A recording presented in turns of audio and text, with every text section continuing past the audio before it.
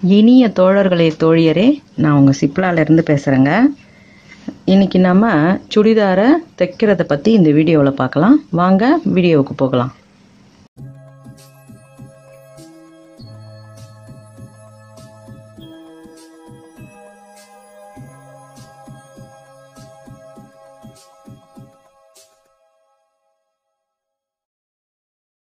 இதையும் உங்களுக்கு step by ஸ்டெப்பாக ஃபுல்லாக சொல்லி கொடுத்துட்றேன். எப்படின்றத நீங்கள் கிளியராக புரிஞ்சிக்கணுன்றதுக்காக ஒன்று ஒன்றும் சொல்லி சொல்லி நான் தைச்சி காட்டுறேன். முதல்ல இடுப்புக்கு நாடாவை முதல்ல தைச்சிக்கலாம். ஜாயின் பண்ணும்பொழுது ரெண்டு ரெண்டு தையல் போடுங்க. இது நாடா உங்களுக்கு தெரியும் எப்படி தைக்கணும்னு. உருட்டி தைச்சிக்கோங்க. கரை பீஸ் இருந்ததுன்னா கரை பீஸ் மேலே வர மாதிரி வச்சு தைச்சி விட்ருங்க இந்த மாதிரி ஜாயின் வர்ற இடத்துலலாம் ஒரு முறை ரஃப் தையல் ஓட்டிக்கோங்க. ஏன்னா அது அந்த ஜாயின் வந்து விட்டு போகக்கூடாதுன்றதுக்காக.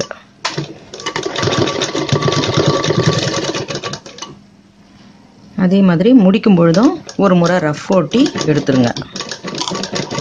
ஏன்னா இந்த எட்ஜஸ்லாம் பிரியாமல் இருக்கணும் அப்படின்றதுக்காக. இப்போ கணுக்கால் கிட்ட தைக்க போகிறோம் அதுக்கு நம்ம இந்த கட் பண்ணி வச்சிருக்கிற துண்டு இதை எடுத்து அப்படியே நம்ம ஜாயின் பண்ணி உள்ளே மடித்து தைக்க போகிறோம் இதில் ஆல்ரெடி நீங்கள் துணி நிறையா இருந்து விட்டுருந்தீங்கன்னா அதையே நீங்கள் மடித்து தைக்கலாம். ரொம்பவே மெல்லியதாக இருக்கிற பேண்ட்டு துணியாக இருக்கும் பட்சத்தில் நீங்கள் இந்த கேன்வாஸை ஒரு ஒரு ஒரு இன்ச் அல்லது ஒன்றே கால் இன்ச்சுக்கு கட் பண்ணி அதில் நீங்கள் மடித்து வச்சு உள்ளே வச்சு தைச்சிங்கன்னா அந்த இடத்துல கொஞ்சம் க்ரிப்பாக இருக்கும். இப்போ இந்த செப்பரேட்டாக நம்ம ஜாயின் பண்ணினோம் இல்லையா? அதுக்கு நம்ம உள்ள இப்படியும் வைக்கலாம் இப்படி மேலேயும் வைக்கலாம். இந்த மடிப்பு நமக்கு நம்ம ஜாயின் பண்ணின மடிப்பு கொஞ்சம் உள்பக்கமாக இருக்கிற மாதிரி வைங்க. வெளிப்பக்கம் தெரியாத மாதிரி. முடிஞ்சால் நீங்கள் படித்தையல் போட்டு திருப்புனீங்கன்னா பிகினர்ஸ்க்கு இன்னுமே அது ரொம்ப சுலபமாக இருக்கும். இப்படி வச்சு நம்ம மடித்து தைக்கும் பொழுது அந்த கால் கிட்ட நல்ல ஒரு க்ரிப்பாக இருக்கும். டைட்டு நல்லாயிருக்கும் இந்த ஓரமும் இந்த ஓரமும் நீங்கள் ஒரு ஒரு தையல் போடுங்க.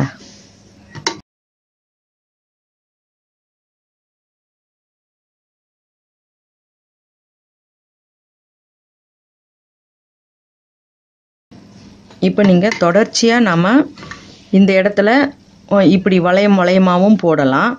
அல்லது உங்களுக்கு இப்படியே ஸ்ட்ரெயிட்டாக போடணும்னா இன்னும் கூட நடுவில் ரெண்டோ அல்லது மூணு தையல் நேர் நேராக கூட போட்டுக்கலாம். இதெல்லாம் வந்து நம்மளோட விருப்பம்தான்.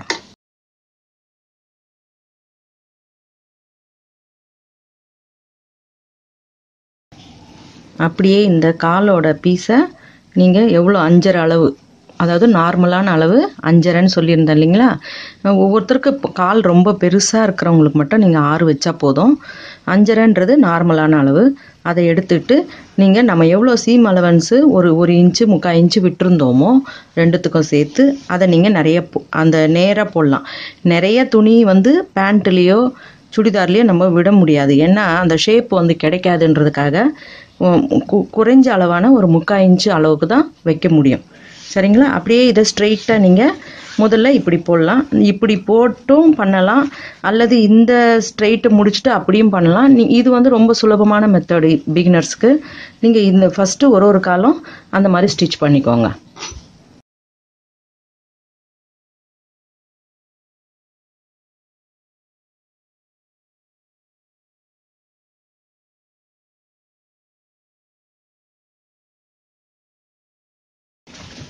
இந்த இடத்துல போடும்பொழுது கொஞ்சம் ஒரு அரை இன்ச் இருக்கிற மாதிரி பார்த்துக்கோங்க. அதாவது இந்த பேண்ட்டோட டாப்பில் ஒரு அரை இன்ச் இருந்தால் போதும்.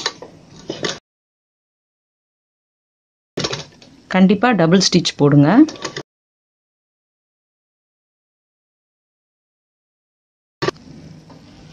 இப்போ இடுப்பு கிட்ட நம்ம அந்த பெல்ட்டை ரெடி பண்ணிக்கலாம். ரெண்டு பீஸும் நீங்கள் எப்படி கரை பீஸ் எப்படி வருதோ அதுக்கேற்ற மாதிரி வச்சுக்கோங்க. கரை பீஸ் இல்லைன்னாலும் கவலை இல்லை. ஒரு சின்னதாக ஒரு மடிப்பு மடித்து தைச்சிக்கலாம்.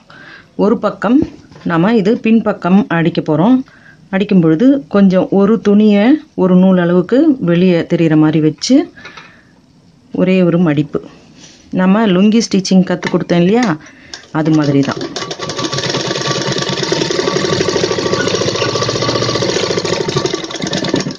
இப்படி மடிச்சிட்டு அப்படியே இந்த ரெண்டு பீஸையும் பிரிங்க. பிரிச்சுட்டு இந்த போர்ஷனை அப்படியே மடிங்க. இந்த பிசுறு இருக்கிற பக்கத்தை உள்பக்கம் வச்சுட்டு அப்படியே இதை மடித்து தைங்க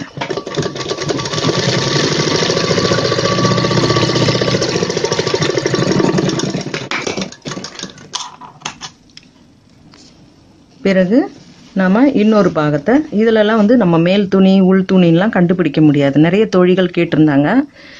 எப்படி கண்டுபிடிக்கிறது அப்படின்லாம். இந்த மாதிரி பிளெயினான துணிகளுக்கெல்லாம் மேல் துணி உள் துணின்னு கண்டுபிடிக்க முடியாது. இருந்தாலும் நீங்கள் இதை கொஞ்சம் பார்த்துக்கலாம். இந்த மாதிரி இந்த கரை பகுதி இருந்ததுன்னா அதை நீங்கள் கொஞ்சம் இப்படி பார்த்து எது உள்ள மேலே அப்படின்றத கண்டுபிடிச்சிக்கலாம். ஆனால் பொதுவாக இதில் அவ்வளோவா தெரியாது. இப்போ இந்த பக்கத்தை நம்ம நாடா கோக்க வேண்டிய பகுதி இதை வந்து நீங்கள் கொஞ்சம் ஒரு முக்கால் இன்ச்சு கிட்ட இடம் விட்டு ஆரம்பிங்க.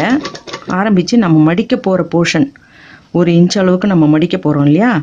அந்த இடம் வரைக்கும் போட்டுட்டு தையலை அங்கேருந்து கொஞ்சம் ஜம்ப் பண்ணிக்கோங்க. ஒரு அஞ்சாறு ஸ்டிச்சஸ் அளவுக்கு ஜம்ப் பண்ணி தள்ளி வந்துடுங்க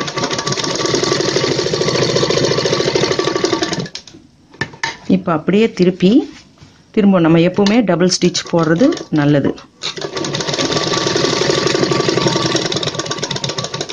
இப்போ நம்ம அந்த ஜம்ப் பண்ணி வந்த இடத்துக்கு வந்துட்டோம். அங்கே ஒரு சின்ன ரஃப் தையல் ஓட்டிக்கோங்க. ஓட்டிட்டு திரும்பவும் ஃபஸ்ட்டு ஜம்போட ஆரம்பத்துக்கு வாங்க. அங்கே வந்து இன்னொரு ரஃப் தையல் ஓட்டுங்க. இப்போ இந்த நடுவில் நம்ம ஜம்ப் பண்ணின இடத்துல இருக்கிற தையலை நூலை அப்படியே கட் பண்ணி விட்டுருங்க. அங்கே ஒரு ஓப்பன் நமக்கு கிடைக்கும். அப்படியே துணியை ரெண்டாக பிரிச்சுட்டு நீங்கள் இந்த பாகத்தை மடித்து தைங்க இந்த பாகத்தை இப்படி மடித்து தைங்க. ரெண்டு ரெண்டு பக்கமுமா பிரித்து செய்யுங்க அதனால தான் ரெண்டு தையல் போடுறது பெஸ்ட்டுன்னு நான் அடிக்கடி சொல்கிறது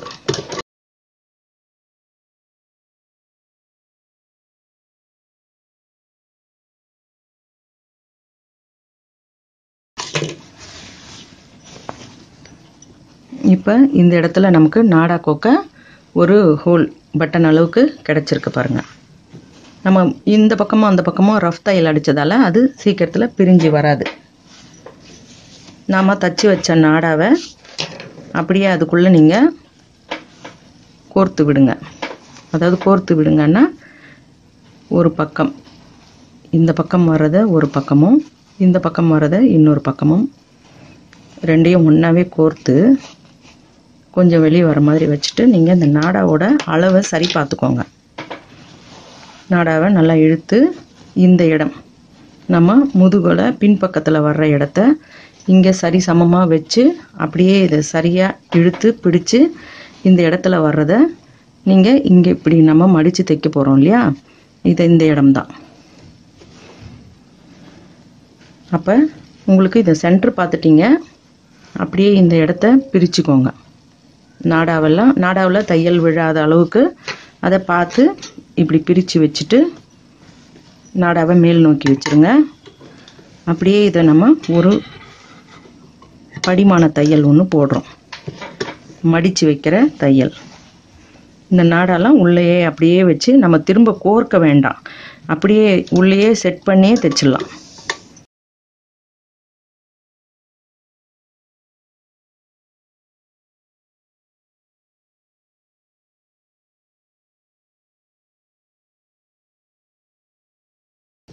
இப்போ இந்த நடு பாகத்துக்கு வந்துட்டோம் இல்லையா?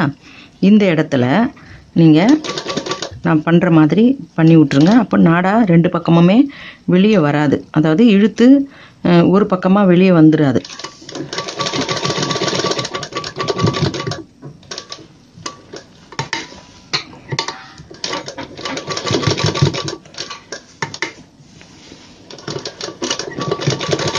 மேலேயும் கிழியும் நான் ஒரு ஒரு தையலை போட்டுட்டேன். இப்போ அந்த நாடா நகராது. நடு பாகத்தில் இருக்கிறதால நமக்கு சுருக்கம் வச்சு அதை நாடாவை கட்டுறதுக்கும் ஒன்றும் பயம் இருக்காது.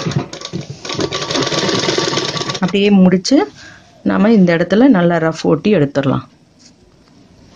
இப்போ நமக்கு இந்த டாப்பு ரெடி ஆயிடுச்சு. இப்போ நம்ம ரெண்டு பேண்ட்டோட ரெண்டு பக்கமும் தைச்சி வச்சோம் இல்லையா? அதை இந்த மேலே இருக்கிற இடத்த பிரிச்சுக்கோங்க. ரெண்டு பக்கமுமே இப்படி பிரித்து இந்த ஸ்டிச்சு நடுவில் ஒன்றோட ஒன்று கரெக்டாக இப்படி மீட் ஆகிற மாதிரி வைங்க.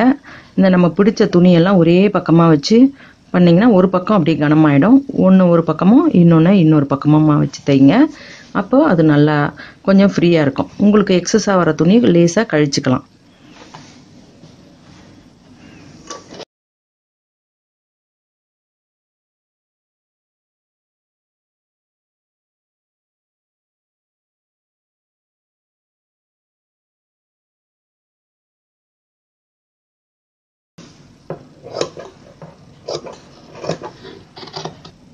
இப்போ இது ரெண்டும் நம்ம ஜாயின் பண்ணிட்டோம் இல்லையா? நாம் ஏற்கனவே இதை ரெடி பண்ணி வச்சதை இந்த டாப்பை நீங்கள் கரெக்டாக இந்த ஸ்டிச்சோட பாயிண்டில் அதை அப்படியே பொறுத்துங்க சரியா? இதுதான் வந்து நம்ம ஜாயின் பண்ணின பகுதி. அதை அப்படியே சென்டராக இங்கே வச்சு இப்படியே இதில் வச்சு தைச்சிருங்க. இப்படி தைக்கும் பொழுது ஒரு சிலருக்கு பின்னால் சுருக்கம் கேட்பாங்க. ஒரு சிலர் முன்னால் மட்டும் சுருக்கம் கேட்பாங்க. பின்னால் பிளெயினாக கேட்பாங்க.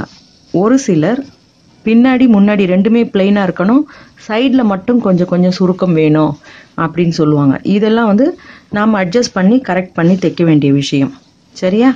இப்போ நீங்கள் இது வந்து முன்னாடி மட்டுமே சுருக்கம் வைக்கக்கூடிய கேட்டிருக்காங்க. அதனால் நம்ம இதை அப்படியே ஆரம்பித்து அப்படியே ஸ்டிச் ஓட்டிட்டு வந்து இங்கே கிட்டக்க வரும்பொழுது நமக்கு எவ்வளோ துணி எக்ஸஸாக இருக்கோ அதை நம்ம சுருக்கம் வச்சு இந்த இடத்துல இந்த தையல் சரியாக இந்த இடத்துல இந்த இடம் கரெக்டாக பொருத்தமாக இருக்கணும்.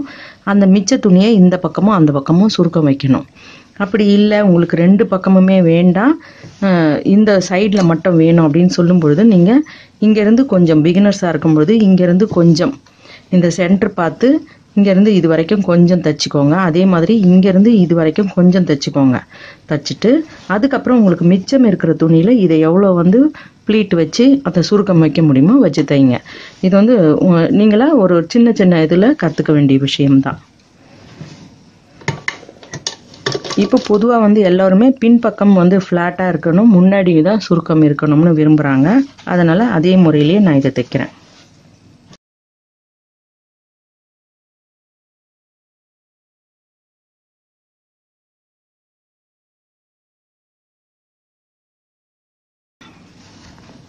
இப்போ இங்கேருந்து நமக்கு இவ்வளோ கிட்ட வந்த பிறகு இவ்வளோ துணியை சுருக்கம் வைக்க முடியாது.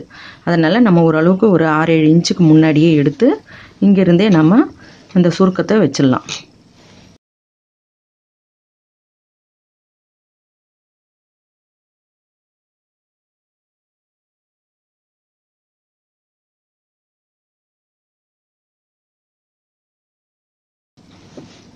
மற்ற துணி எதுவும் உள்ளே மாட்டாத மாதிரி பார்த்து ஜாக்கிரதையாக வைங்க.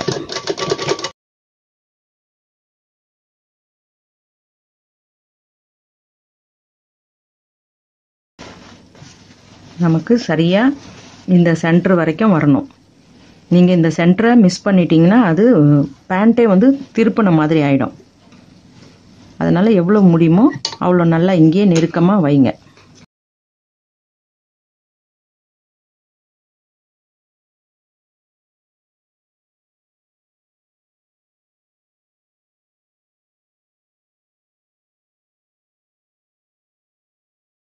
அதுக்கு பிறகு இந்த பக்கமும் வச்சிடலாம்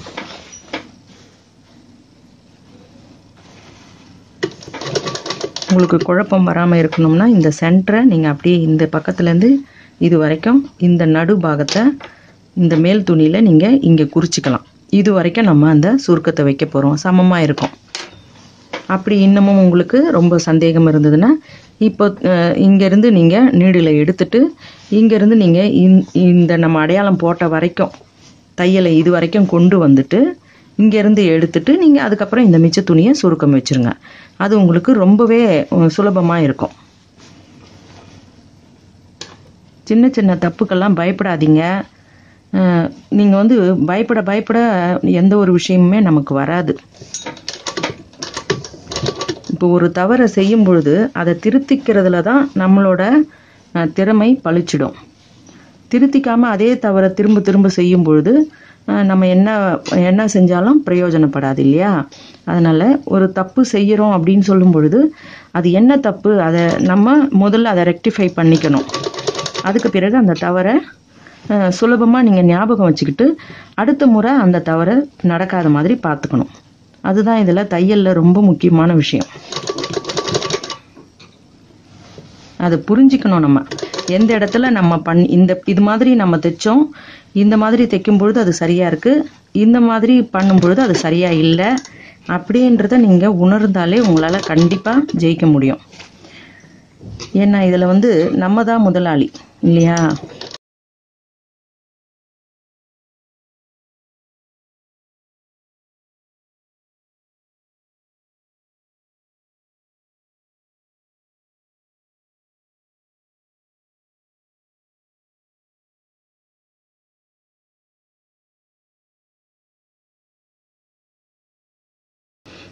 அவ்வளவுதாங்க. பேண்ட்டு முடிஞ்சிடுது. உங்களுக்கு வேணும்னா இங்கே ஓவர்லாக் வேணும்னா போட்டுக்கலாம். இந்த இடத்துலையும் இந்த மாதிரி இடத்துலலாம் அந்த பிசுறு வராமல் இருக்கிறதுக்காக ஓவர்லாக் போடலாம். சரியா? பேண்ட்டு முடிஞ்சிருது டாப் தைக்கலாம். முதல்ல நம்ம எப்பவும் போல் கழுத்தெல்லாம் ஃபினிஷ் பண்ணிடலாம். இப்போ கழுத்து ஃபினிஷ் பண்ணுறதுக்கு இன்னொரு முறை கூட நான் உங்களுக்கு சொல்கிறேன் போன வீடியோலேயும் சொல்லியிருந்தேன் இல்லையா? ஷோல்டர் ஜாயின் பண்ணுறது அது மாதிரியே இதுலேயும் நம்ம அப்படியே பண்ணலாம். இப்போ ரெண்டு ஷோல்டரையும் ஒன்றா வைக்கிறோம். நிறைய பேர் திரும்ப திரும்ப அந்த சந்தேகம் கேட்குறீங்க ஷோல்டர் எப்படி ஜாயின் பண்ணுறது ஷோல்டர் கம்மியாக ஷோல்டரை நான் கம்மியாக எடுக்கவே இல்லை. ஏன்னா நான் வந்து எடுத்தது ஷோல்டரை மூணு இன்ச்சு தான். நான் எடுக்கிறதுக்கு கழுத்து தான் டிஃபரன்ஸ் காட்டுறேனே தவிர ஷோல்டரில் நான் ஒன்றுமே பண்ணல. அந்த மூணு இன்ச்சு மூணு இன்ச்சுன்னும் பொழுது தாராளமாக நமக்கு ரெண்டு பீஸும் ஒன்றா வைக்கும் பொழுது சரியாக தானே இருக்குது ஆனால் அதே டவுட்டை தான் நிறைய கேட்குறீங்க நான் அதுக்காக தனியாக வீடியோவிலையும் போட்டு சொல்லிட்டேன். அப்போவும் அதே டவுட்ஸ் தான் திரும்ப கேட்குறீங்க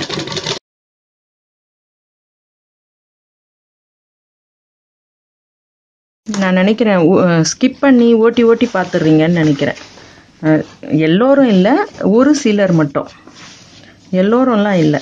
நிறைய பேர் வந்து ரொம்பவே புரிதலோடு பார்க்குறீங்க சில பேர் மட்டும் அந்த ரிப்பீட்டடாக ஒரே கொஸ்டினே திரும்ப திரும்ப கேட்கும் பொழுது கொஞ்சம் என்ன நம்ம சரியாக சொல்லலையோ அப்படின்னு எனக்கு எம்எல்ஏ கொஞ்சம் சந்தேகம் வந்துடுது அதுதான் வேற ஒன்றும் இல்லை.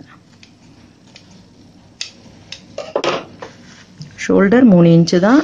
நம்ம அதை ஒரு பக்கம் ஜாயின் பண்ணிட்டோம். இன்னொரு பக்கம் நம்ம ஜாயின் பண்ணாமல் விட்டுருக்கோம். இப்போ அதை வந்து நம்ம மடித்து உள்பக்கமாக அதை ஹெம்மிங் மாதிரி டைப்பில் நம்ம மடித்து தைக்கிறதுக்காக இப்படியே தைக்கிறேன் பாருங்கள்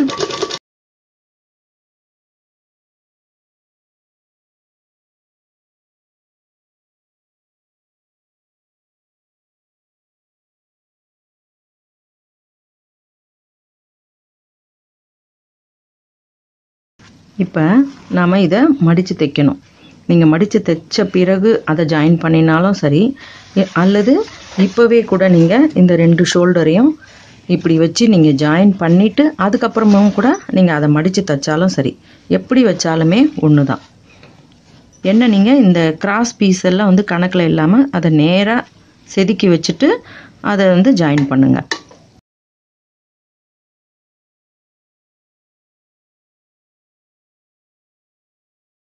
கட்டாயமாக இதை ஜாயின் பண்ணும் பொழுது இந்த பிசுறு துணியை நம்ம நெக் நெக் பீஸ் பக்கமாக தள்ளி வச்சு தான் தைக்கணும். சரியா? நீங்கள் இதை வந்து கொஞ்சம் தாராளமாகவே நீங்கள் இந்த ஷோல்டரை ஒரு அரை இன்ச்சுக்கு உள்ளாரவே நீங்கள் பிடிக்கலாம்.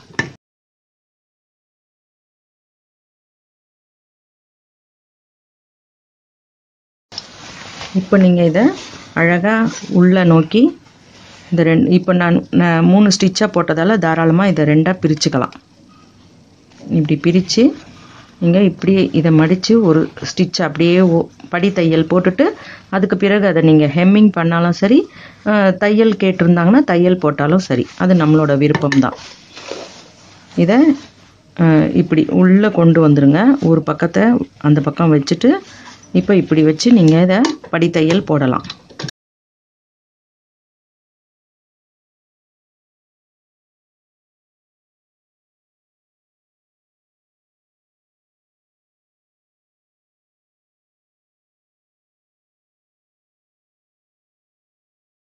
அப்படியே கையை நம்ம மடித்து தைச்சிக்கலாம்.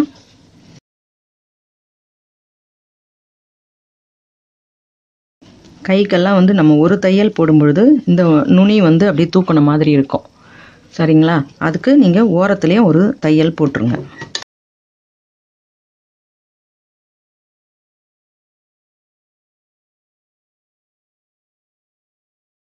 இப்போ நாம் இந்த கட் பண்ணினோம் இல்லையா? இந்த அரைக்காத்து பார்த்து லெஃப்டாக ரைட்டான்னு பார்த்துட்டு நீங்கள் அப்படியே நான் எப்பவும் சொல்லி கொடுத்த மாதிரி ஷோல்டரில் சென்டர் பார்த்து வச்சு அப்படியே இதை ஜாயின் பண்ணுங்கள்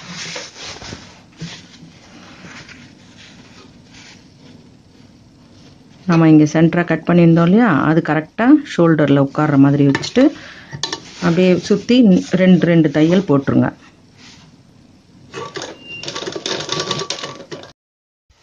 இப்போ நம்ம ஃபைனலாக பண்ண போகிறது சைடை பிடிக்கிறது.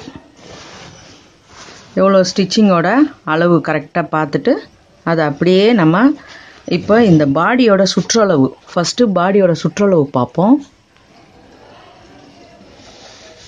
இப்போ முப்பத்தி ரெண்டு இல்லைங்களா பாடியோட சுற்றளவு முப்பத்தி ரெண்டு நமக்கு இங்கே என்ன ஃபைனலில் எவ்வளோ இருக்குன்னு பார்ப்போம். இங்கே ஆம்ஹோல் கிட்ட ஆம் ஹோலுக்கு அந்த நம்ம ஜாயின் பண்ணினோம் இல்லையா அந்த துணிக்கு கீழே ஸ்டார்ட் பண்ணிவிட்டு இங்கே எண்டிங்கில் இதை பார்க்கணும். இப்போ பதினெட்டரை இருக்குது இந்த இடம் வந்து பதினெட்டரை இருக்குது இல்லைங்களா? நமக்கு வந்து இந்த ஃபினிஷிங்கில் சுடிதாருக்கு எப்போவுமே வந்து ஒரு அரை இன்ச்சு கூடுதலாக வைக்கணும். நம்ம வந்து பதினெட்டரை இப்போ ப பதினாறு வச்சோம்னா தான் இதுக்கு சரியாக இருக்கும். ஆனால் நம்ம வந்து ஒரு பதினாறே கால் அந்த மாதிரி பதினாறே காலோ அல்லது அதாவது முப்பத்தி ரெண்டுன்றதை நான் பாதியாக்கி சொல்கிறேன் அப்புறம் பதினாறு எப்படி வந்ததுன்னு கேட்க போகிறீங்க முப்பத்தி ரெண்டில் நமக்கு பாதி பதினாறு இல்லைங்களா? அப்போ அந்த பதினாறு கூட நம்ம ஒரு அரை இன்ச்சு வந்து கூடுதலாக நமக்கு சுற்றளவில் கிடைக்கணும். ஏன்னா நம்ம எடுத்த அளவே வைக்கக்கூடாது சுடிதாரில் மட்டும். ப்ளவுஸ்க்கு அப்படி கரெக்டாக ஃபினிஷிங்காக இருக்கணும். சுடிதாருக்கு ஒரு அரை இன்ச்சு வந்து கூடுதலாக இருந்தால் தான் நல்லாயிருக்கும் ஏன்னா அது வந்து நம் ஓப்பன் இல்லாத விஷயன்றதால தலை வழியாக இழுத்து போடும்பொழுது ரொம்பவே நெருக்கமாக இருக்கக்கூடாதுன்றதுக்காக எடுத்த அளவுலேருந்து ஒரு அரை இன்ச்சு ஃபினிஷிங்கில் நம்ம வைக்கணும். சரிங்களா? அப்போ இந்த பதினெட்டுன்னும் பொழுது இங்கே ஒரு நம்ம ஒரு இன்ச்சு சீம் அலவன்ஸ் இல்லை ரெண்டு பக்கமும் சீம் அலவன்ஸ் வச்சோம்னாலே மீதி வந்து நமக்கு சரியாயிடும். அதே போல் நமக்கு ஸ்லீவும் எவ்வளோ அளவோ அதை எடுத்துட்டு அந்த இடத்துல எப்படி ஸ்டிச் போடுறேன்னு பாருங்கள் அப்படியே நம்ம எவ்வளோ லென்த்துன்றத அப்படியே நம்ம அந்த கோடு போட்டுட்டு இங்கே இருக்கிற இந்த ஒரு இன்ச்சையும் நம்ம அப்படியே கோடு போட்டு இந்த ஷேப் வந்து கரெக்டாக இந்த ஒரு இன்ச்சு இங்கே சீம் அலவன்ஸ் இருக்கிற மாதிரியே பார்த்து நம்ம வெட்டின பாதையிலேயே போனோம்னாலே நமக்கு ஷேப் கிடச்சிரும்.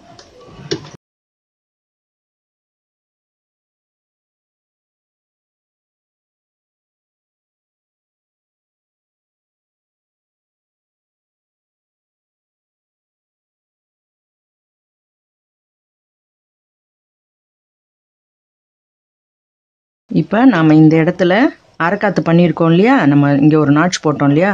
அதாவது இந்த சைடு கட்டுக்கு பிடிக்கிறதுக்காக அந்த இடம் வரைக்கும் வந்துட்டு அங்கே நம்ம ஸ்டாப் பண்ணிடணும்.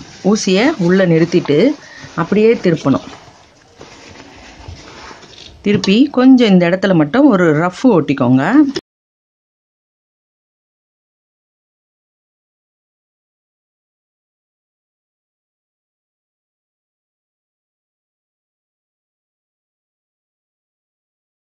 சுடிதாரில் மட்டும் நம்ம பக்கத்து பக்கத்துலலாம் தையல் போடக்கூடாது. போட்டோம்னா அது வந்து அந்த ஃபினிஷிங் வந்து அவ்வளோவா கிடைக்காது. பக்கத்துலேயே நம்ம ப்ளவுஸ்க்கு போடுற மாதிரி தேவைன்னா பிரிச்சுக்கிற மாதிரியெல்லாம் நம்ம சுடிதாரில் போட்டோம்னா அந்த சிட்டிங் வந்து கரெக்டாக உட்காராது. அதனால் நம்ம டபுள் ஸ்டிச்சு போடுறதோட விட்டுறணும். அதுக்கப்புறம் நமக்கு தேவை அப்படின்னும் பொழுது நம்ம இதை பிரித்து விடுறதுக்கு முன்னாடி பக்கத்தில் திரும்பவும் ஒரு ரெண்டு ஸ்டிச்சு அதாவது நமக்கு லூஸாக வேணுன்ற பட்சத்தில் பக்கத்தில் ரெண்டு ஸ்டிச்சு போட்டுட்டு அதை வந்து இந்த இடத்துல இந்த கட்டு சேர்ற இடத்துக்கு முன்னாடி அப்படியே சேர்ந்த மாதிரி இந்த இடத்துல வந்து இணைச்சிட்டு மீதி அந்த முன்னாடி போட்ட தையலை பிரிச்சுக்கலாமே தவிர நீங்கள் முன்னாடியே பக்கத்து பக்கத்தில் தையல் சுடிதாரில் மட்டும் போடக்கூடாதுங்க. அதே மாதிரி இப்போ இந்த பக்கம் பிடிச்ச மாதிரியே ரெண்டு சைடும் பிடிச்சிக்கலாம். இப்போ இந்த பாகத்தை பிரிச்சுக்கிறோம். சுடிதாரோட கீழ் பாகத்தை அப்படியே பிரிச்சிடுறோம். நம்ம வந்து இந்த இடத்துல கட்டு அதை எப்படி மடித்து தைக்கணும் அப்படின்றதுக்கு சொல்லித்தரேன் பாருங்கள் இப்போ இந்த இடத்த நீங்கள் இப்படி நம்ம பிடிச்ச இந்த சைடோட இடத்த இப்படி வச்சுக்கோங்க. இதை வச்சுட்டு இந்த இடத்த ஸ்ட்ரைட்டாக அதாவது நம்ம இங் இங்கே பிடிச்ச இடத்த பிரிச்சுடுங்க. பிரித்து அதாவது ரெண்டு துணியும் இந்த ரெண்டு பக்கமும் வர மாதிரி பிரிச்சுட்டு இப்படி வச்சிங்கனாலே நீங்கள் இதை இழுத்து பார்க்கும்பொழுதே உங்களுக்கு இந்த மடிப்பு சீராக அப்படியே மடிப்பாக கிடைக்கிது பாருங்கள் இந்த இடத்த நம்ம அழகாக நீங்கள் இங்கே தேய்ச்சி விட்டுக்கோங்க.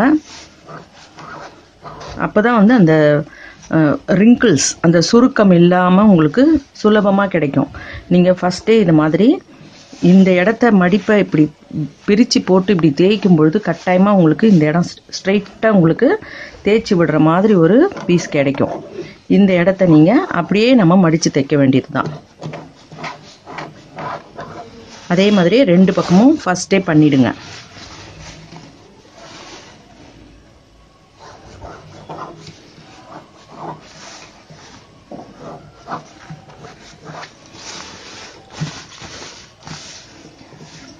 இப்போ நாம் ரொம்பவே சுலபமாக இந்த இடத்த அப்படியே நம்ம மடித்து தைச்சிக்கலாம்.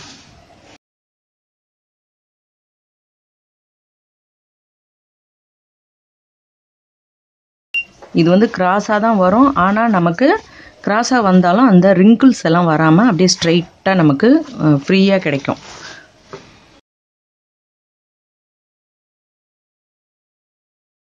சரியாக இந்த கட்டு வரைக்கும் வந்து நிறுத்துறேன் பாருங்கள்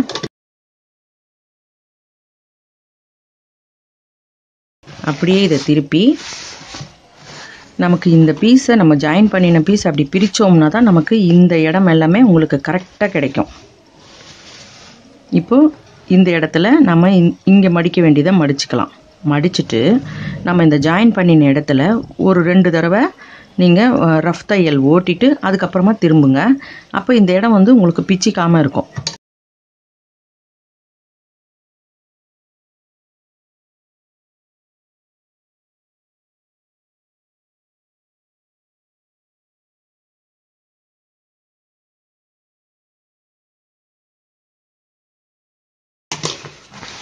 இப்போ உங்களுக்கு தேவை அப்படின்னா நீங்கள் இன்னொரு ஸ்டிச்சு இந்த ஓரத்தில் ஓர தையல் வந்து போட்டு அதே மாதிரியே நீங்கள் ரெண்டு பக்கமும் அப்படியே ஸ்ட்ரைட்டாக பண்ணி பண்ணலாம். இப்போ நிறைய பேர் வந்து அந்த மாதிரி ரெண்டு தையல் போடுறது இல்லை. சிங்கிளோடவே நிறுத்திடுறாங்க. அதே மாதிரி ரெண்டு பக்கமும் தைச்சிக்கலாம். இப்போது ஃபினிஷிங் வந்துட்டோம் பாருங்கள் ஃபைனலாக நம்ம முடிக்க வேண்டிய விஷயம் கீழே நம்ம பாட்டமில் மடித்து தைக்கிறது தான். அது தைக்கிறதுக்கு முன்னாடி ஒரு விஷயத்த நீங்கள் சரி பார்க்கணும். அதாவது இந்த நம்ம சைடில் இந்த கட்டோட அளவை கரெக்டாக இப்படி வச்சுட்டு உங்களுக்கு இந்த பக்கம் நீட்டி பார்த்தீங்கன்னா கொஞ்சம் நம்ம இந்த மடித்து தைக்கும்பொழுது லேசாக அப்படி எக்ஸஸ் ஆகியிருக்கலாம் அல்லது கொஞ்சம் பெருமளவில் இவ்வளோ கூட நீட்டிகிட்டு இருக்கலாம். அது மாதிரி இருந்ததுன்னா நீங்கள் அதை ரெண்டுத்துக்கும் சமமாக வச்சு கழிச்சிட்டு நீங்கள் அதுக்கப்புறம் தான் அதை மடித்து தைக்கணும். இப்போ இது ரெண்டுமே வந்து நமக்கு சமமாக இருக்குது ஒரு சில நேரங்களில் ஒரு சில துணிகள் அந்த மாதிரி நம்ம இதை இழுத்து தைக்கும் பொழுது ஜம்ப் ஆகிற துணி மாதிரி இருந்ததுன்னா அது கொஞ்சம் ஒரு பக்கம் எக்ஸஸாக நீட்டிகிட்டு இருக்க வாய்ப்பு உண்டு. அதனால் நீங்கள் பயப்பட வேண்டாம். அதை நீங்கள் கட் பண்ணி கழிச்சுட்டு அதை நீங்கள் கீழே ஸ்ட்ரைட்டாக மடித்து தைங்க அது என்ன தனியாக நிற்கிதுன்றதுனால நீங்கள் அதுக்கு அதை வந்து அப்படியே வந்து தைச்சிடக்கூடாது.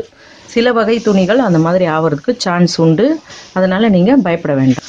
பிறகு ஒரு சில நேரங்களில் ஒரு பக்கம் சரியாக இருக்கும் ஒரு பக்கம் சரியாக இல்லாமல் ஆகிடும் அதுக்கும் நீங்கள் கன்ஃபியூஸ் ஆகாமல் டக்குன்னு அதை நீங்கள் கட் பண்ணி எடுத்துருங்க. சரியா? அது வந்து ஒரு பக்கம் சரியாக இருக்குது ஒரு பக்கம் தப்பாக இருக்கே நம்ம தப்பாக தைச்சிட்டோம் அப்படின்னு நினைக்க வேண்டாம். அது ஒரு சில நேரங்களில் ஒரு சில துணி வகைகள் அந்த மாதிரி ஆகிறதுக்கு நிறைய வாய்ப்பு இருக்குது சரியா? இப்போ நம்ம இந்த மடிப்பு எவ்வளோ வச்சோமோ அந்த மடிப்பையே தான் இங்கேயும் வைக்க போகிறோம் இது கொஞ்சம் பெருசாக இருந்து இது கொஞ்சம் சிறுசாக இருந்தால் அது கொஞ்சம் ஈவனாக இருக்காது. அதனால் இது இதோட அளவுக்கு சேர்ந்த மாதிரியே வைங்க. எப்போ வைக்கும் பொழுதும் இந்த ஓரங்களை அப்படியே விட்டுட்டு இப்படி ஸ்ட்ரெயிட்டாக ஸ்டார்ட் பண்ணக்கூடாது. அந்த ஓரங்களை மூடணும். மூடி தான் நீங்கள் இந்த பக்கம் ஓட்டணும் தையலை.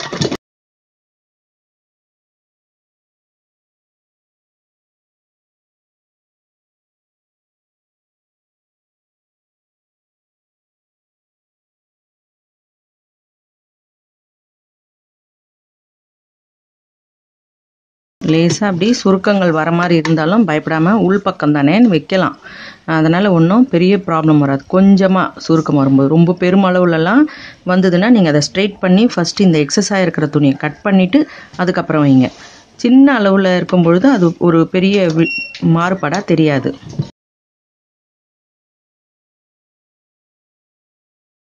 அப்படி உங்களுக்கு அந்த இடம் உங்களுக்கு சரியாக வரல அப்படின்னு நீங்கள் நினச்சிங்கன்னா உடனே வந்து இந்த ஓரத்தில் ஒரு படித்தையல் போட்டுருங்க. அது இன்னமுமே நல்ல ஃபினிஷிங்காக இருக்கும். சுடிதாரில் இந்த மாதிரியெல்லாம் நீங்கள் சின்ன சின்ன ஹிண்ட்டுகளை பயன்படுத்தி சிறப்பாக தைக்கணும்னு நான் நினைக்கிறேன். உங்களுக்கு இந்த வீடியோ பிடிச்சிருந்தா எனக்கு லைக் கொடுங்க கமெண்ட் கொடுங்க. ஷேர் பண்ணி சப்ஸ்கிரைப் பண்ணுங்கள் பெல்லைக்கான் அழுத்துனீங்கன்னா நான் போடுற வீடியோஸ் உங்களுக்கு தொடர்ச்சியாக கிடைக்கும். மிக்க நன்றி. வணக்கம்.